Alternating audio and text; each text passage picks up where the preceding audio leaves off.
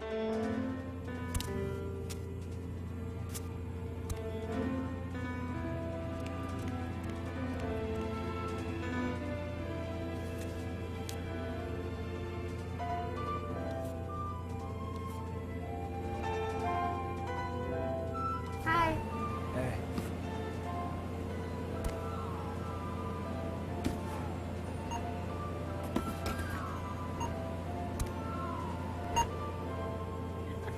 You're single, huh?